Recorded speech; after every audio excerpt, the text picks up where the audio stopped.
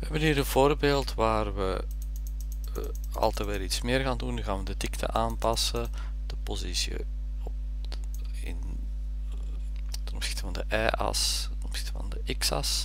Maar ook de kleuren kunnen we nu gaan aanpassen. Bijvoorbeeld een beetje meer groen erin brengen, een beetje minder uh, blauw erin en wat meer rood erin. Dan krijgen we natuurlijk geel.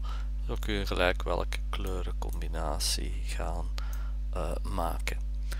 Dit voorbeeld is vooral gegeven om even weer al de interactie met HTML even te laten zien waar we nu toch eigenlijk al een heel wat controls hebben van HTML die hier bovenaan uh, gedefinieerd staan. Oei, er is een deel van weggevallen in de code. Een beetje naar links gaan zetten.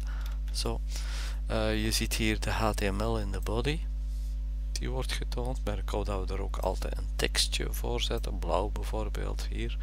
Dat verschijnt hier mooi voor de control. Uh, met type is range geven aan dat een slider is. Merk op dat we nu maximumwaarde opgegeven hebben, want de kleuren gaan maximum van 0 tot uh, eh, 255, zowel voor rood, groen als blauw. Merk op dat we in alle gevallen bij onChange alles opnieuw gaan hertekenen, de draw functie gaan uh, oproepen. Um, het enige nieuwe bij dit voorbeeld is dat we nu de kleur gaan uh, samenstellen. En dat is wel even een ingewikkeld uh, ding. Um, waar we even naar moeten gaan kijken eigenlijk. Uh, dus de draw is vrij analoog, eerst alles leegmaken, dan de lijndikte instellen die afhangt van de control dikte die we al gezien hebben, maar dan de kleur. Um, uh, de kleur is normaal gezien, we gaan het hier even onderaan hier bijzetten, die ziet eruit als uh, RGB, oh, B, en dan uh, tussen haakjes de waarde, bijvoorbeeld 55 voor rood, dan een beetje verder, komma, altijd gescheiden door een komma, 66 voor blauw, komma, en 77 voor groen dit is de string die we moeten samenstellen. Dat is nu exact wat er hier gebeurt.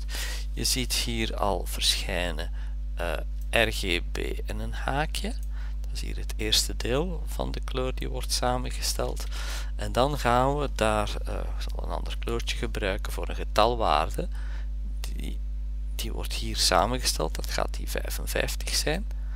En dankzij die plusteken die hier staat, wordt die getalwaarde achter die tekst gezet en krijgen we hier mooi RGB haakje open 55. Dan mogen we natuurlijk niet vergeten van de uh, komma uh, te zetten. Voilà, dat wordt hier samengesteld. Dat is weer een string tussen dubbele quotes. Die wordt hier mooi gezet. Dan krijgen we weer een getalwaarde, de waarde van groen. Uit, uit het beeld is hier iets dat wordt hier bijgezet en analoog gaat hier achter staan dat we nog een komma er gaan achter zetten en nog de getalwaarde voor uh, blauw en dan nog het sluitend haakje niet vergeten. Dan stellen we zo het runtime tijdens het uitvoeren van het programma deze string samen die dan de kleur gaat uh, weergeven. Je ziet een beetje geavanceerder al eigenlijk om die kleur samen te stellen. Laten zien dat we wijs maken, dan zie je dat we hier achteraan ook nog het uh, haakje hier gaan zetten en zoals gezegd de waarde van blauw en de komma.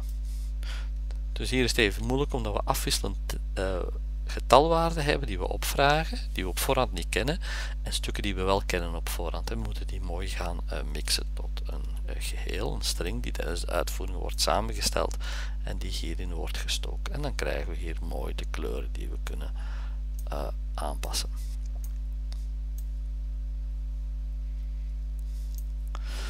Dank voor uw aandacht.